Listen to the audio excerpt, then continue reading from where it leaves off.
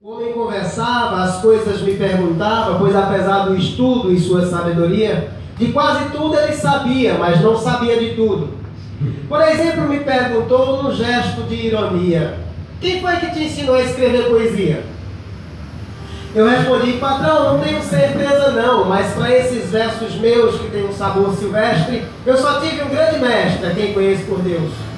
Cortava o carro asfalto e a gente dialogando, toda viagem é um salto quando se vai conversando. Contemplávamos a paisagem que magiava a rodagem num quadro bem nordestino.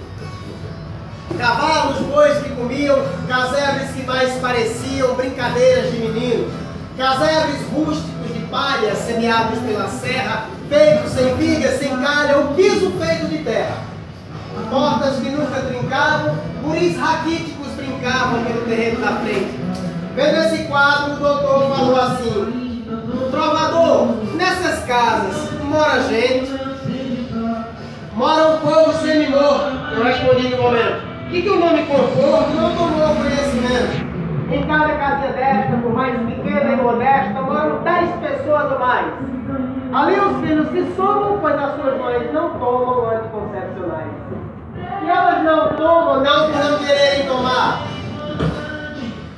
Lhes falta orientação e dinheiro para comprar.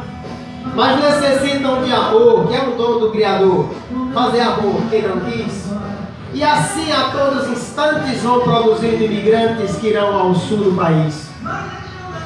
Meninos famintos, fracos, dado a limitada boia, seus lençóis são de saco e o leite é uma boia.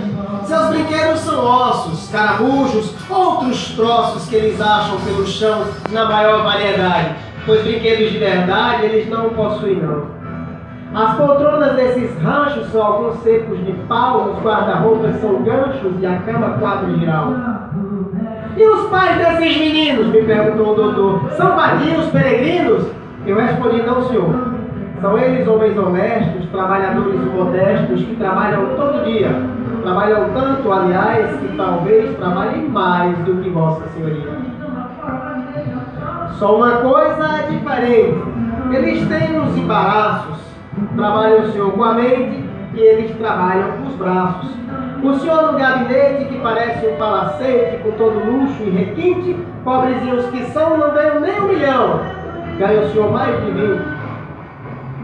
Vive esse homem da terra que não é dele, é alheia, nessa luta quase guerra que é trabalhar de meia.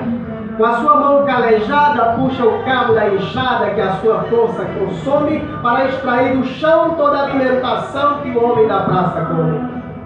Ainda tinha uma coisa para falar para o doutor, porém chegamos em Souza, cidade do interior. Eu precisava ficar, ele tinha que passar a poesia para o Juazeiro. Então logo me despedi, peguei a pena e escrevi. Conversa de passageiro. Eu acho linda essa, essa, essa poesia, né? Ela retrata um, algum trecho aquele do cordel, quem acredita sempre alcança, que diz Delma Góes, uma estudante, possui rara enfermidade, mas seu olhar radiante é a maior raridade. Quando ela vê os problemas, não os transforma em algemas, prendendo sua esperança. Se liberta, vai além, mantém no foco, pois quem acredita sempre alcança. Passa desde pequenina por diversos consultórios, medindo a hemoglobina e os pontos respiratórios. Se há problemas nos pulmões, sente no ar vibrações da brisa da confiança que o zéfiro da fé faz bem para comprovar que quem acredita sempre alcança. De minha revolta, o sabor de infância, das brincadeiras que não acho em minha criança, de pés de araçá. Ah, quem dera ser aquela criança, sem sentimentos deturpados. E esse amor que é preciso em minha existência, será realidade ou utopia? É amor colonial, fado, é amor de vendaval e ato. Amor de criança, não tem amor. Criança como meu boi, de nada, em que nada ama, amando tudo. Não sabe nada do meu saber muito. Aquela presa entre saber e não saber, inocência e dor. sem roupas espalhafatosas, mas como um prostíbulo, é a vida, nua, crua, minha, de um filho negro que passou pelo baixo astral, entre o real e o surreal. Dos amores coloniais, crianças, plecos e sifilíticas, dos amores medavais, umbrais palafitas, que entram e voltam, e onde não mais me negarão o sabor das cem mil vidas, essas quais perco a cada noite.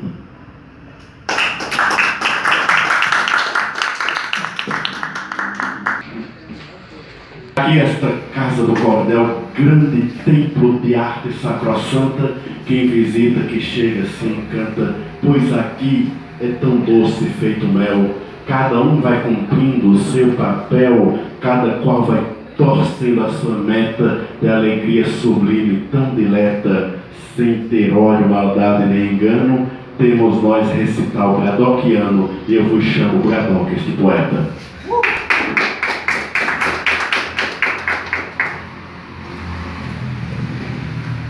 É, primeiramente, boa noite e dizer a todos que é uma honra é, estar aqui nesse belo projeto, essa bela iniciativa, né?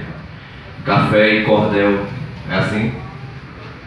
É, em que vem fomentando aí a literatura e vários poetas, como Urbano, Nai, Gênesis Alves, Nerisvaldo, é, todos dando a sua grande contribuição de Caruaru para o mundo.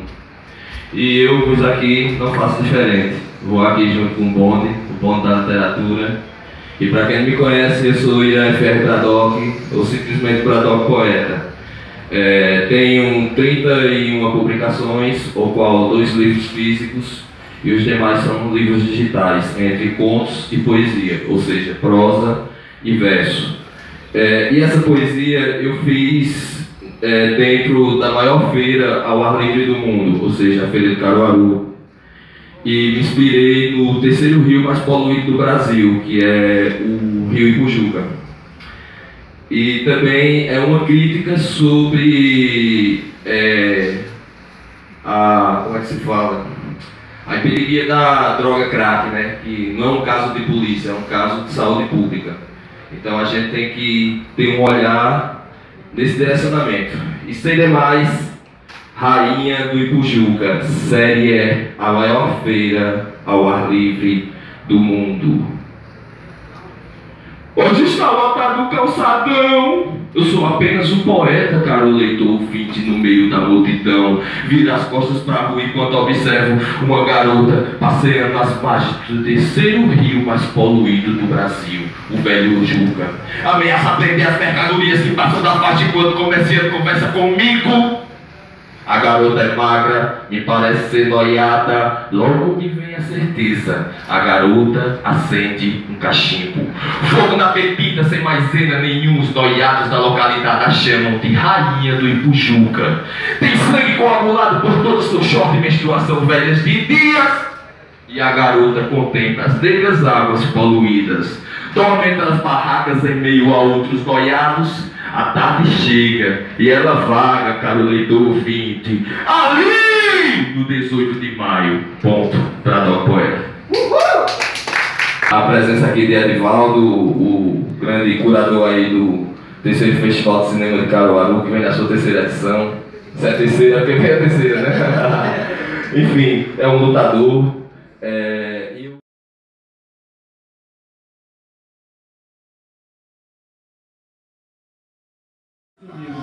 Digo com a visão do homem que se mulheres.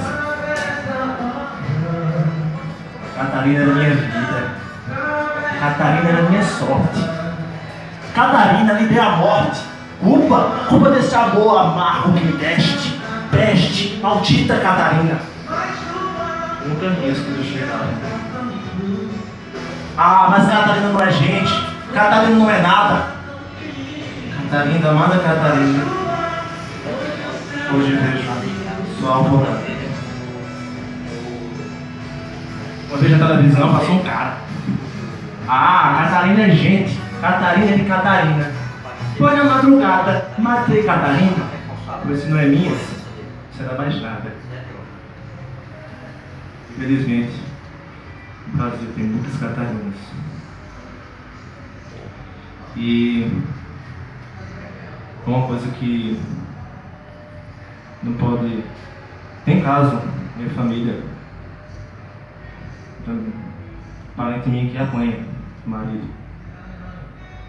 E é uma coisa horrível você perceber o quanto chega o nível de nojo humano